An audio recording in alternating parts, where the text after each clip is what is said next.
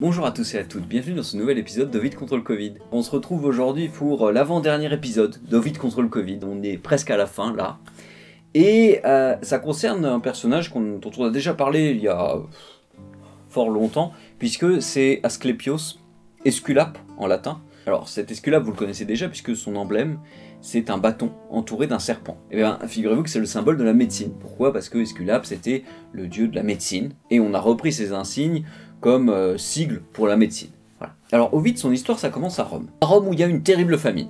Une terrible famine qui emporte tout le monde, tout le monde tombe malade, il y a énormément de gens qui meurent et euh, c'est vraiment horrible, euh, la population est en train d'être complètement décimée et vraiment on ne sait pas quoi faire. Alors le Sénat se réunit et puis il, décide d'envoyer quelqu'un demander de l'aide à Apollon dans le temple de Delphes en Grèce, puisque c'est là-bas qu'on peut voir, peut avoir des oracles d'Apollon. Alors, les envoyés romains vont là-bas, et euh, ils se mettent à prier Apollon, ils se mettent à faire des sacrifices pour Apollon.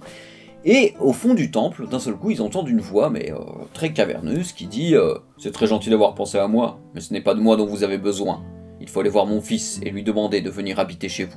Alors les Romains retournent chez eux à Rome, ils disent tout ça au Sénat, le Sénat réfléchit, et ils comprennent en fait qu'Apollon veut que bah, il ramène son fils Esculape pour qu'il mette fin à cette épidémie. Il se demande où est situé Esculape, donc je vous rappelle, hein, le dieu de la médecine, et on finit par lui leur dire qu'il faut aller à Épidore, donc en Grèce. Donc ils se rendent à Épidore, et les émissaires de Rome euh, demandent à ce que euh, bah, Esculape aille avec eux.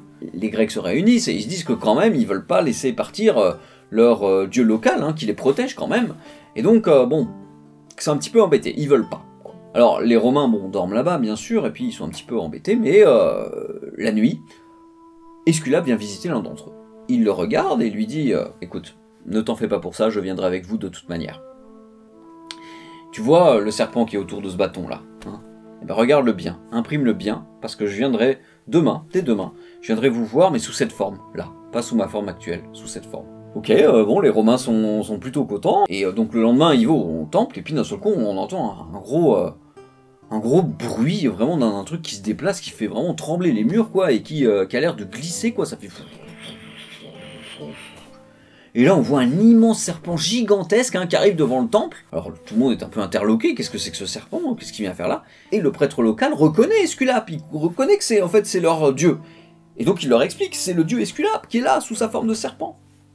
Alors tout le monde fait des prières, bien sûr, euh, tout le monde s'agenouille, euh, euh, tout le monde le prie, etc., y compris les Romains qui étaient sur place. Le serpent a l'air d'écouter les prières, et puis finalement il fait demi-tour, et puis il traverse toute la ville comme ça, en faisant trembler les murs. Et il arrive au port. Et là-dessus, au port, il regarde les bateaux, et puis il finit par aller dans un bateau. C'est le bateau des Romains, bien sûr. Et donc il va dans ce bateau, il fait... Alors le bateau perd euh, coule à moitié hein, à cause du poids du serpent, mais euh, ça va, c'est suffisant pour naviguer. Et donc les Romains là-dessus, ils voient ça, ils sautent dans le bateau et puis ils s'en vont.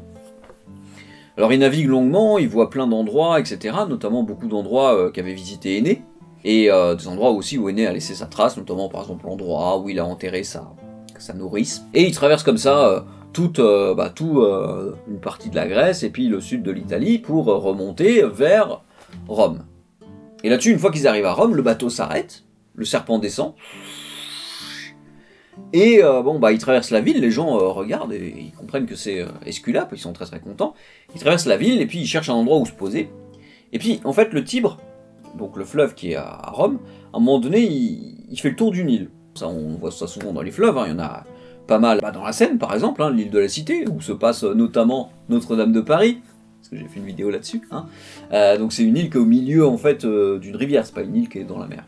Et donc là, au milieu du Tibre, il y a une île et le serpent, voilà, il s'installe dans cette île.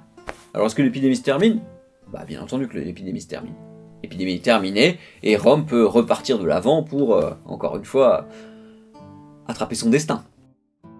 Voilà, c'est tout pour moi pour ce soir. La prochaine fois, on se retrouve pour le dernier épisode d'Ovid contre le Covid, donc ne le manquez surtout pas. D'ailleurs, n'hésitez pas à vous abonner pour ne pas le manquer. Et euh, voilà, si cet épisode vous a plu, bah, n'hésitez pas à la partager, oui, partagez cette vidéo. Et si le cœur vous en dit, n'hésitez pas aussi à aller euh, vous abonner sur mon autre chaîne, Littérature Buissonnière. Voilà, sur ce je vous fais des bisous et puis à bientôt. Ciao